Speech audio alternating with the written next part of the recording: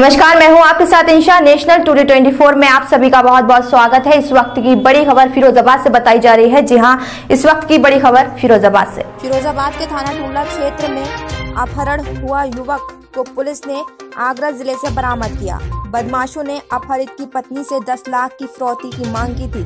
जी हाँ फिरोजाबाद के थाना टूला पुलिस और एसओजी पुलिस ने कैलाश चंद्र नामक युवक को बदमाशों के चंगुल से आज़ाद कर दिया है। आपको बता दें, शुक्रवार की सुबह थाना टुंडला के हज़रत एन से कैलाश नामक युवक का बदमाशों ने अपहरण कर 10 लाख रुपए की फिरौती की मांग की थी।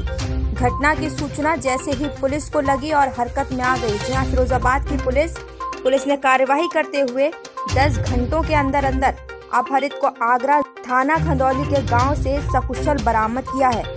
पुलिस ने मुठभेड़ के दौरान दो बदमाशों को भी मौके से गिरफ़्तार किया है। फिरोजाबाद से ऋषि पंडित की रिपोर्ट। तो इनका अपहरण हो गया था और इन्हें जो है आठ से दस घंटे के भीतर हमारी पुलिस ने बचा लिया है। अब इनको इनकी पत्नी के सुपुर्द कर दिया है पत्नी का नाम आपके रेखा गेंदा भी मुड़ गया। बाकी आपको कार से उठा लिया गया था। और कोई ये ये ब्रज किशोर बघेल तुम्हारा क्या नाम है?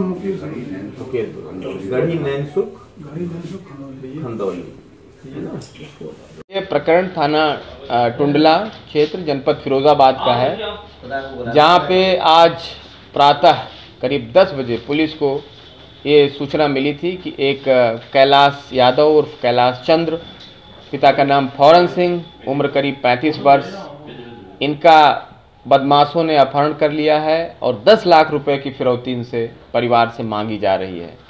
इनकी पत्नी के द्वारा थाने पर सूचना दी गई।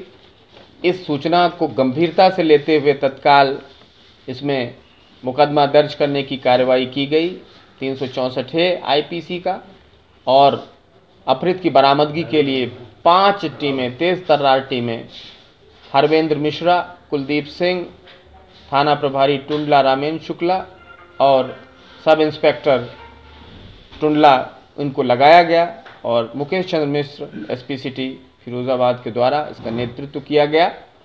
हमने अपहृत को सकुशल आगरा के खंदौली इलाके से एक पुराने मकान से आठ घंटे के भीतर बरामद करने में सफलता पाई है।